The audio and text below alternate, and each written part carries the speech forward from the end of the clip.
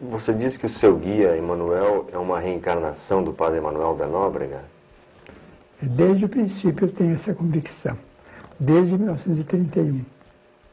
Quando ele apareceu, eu tive a convicção de que ele era o Padre Emanuel da Nóbrega, companheiro de Anchieta e fundador da capital de São Paulo.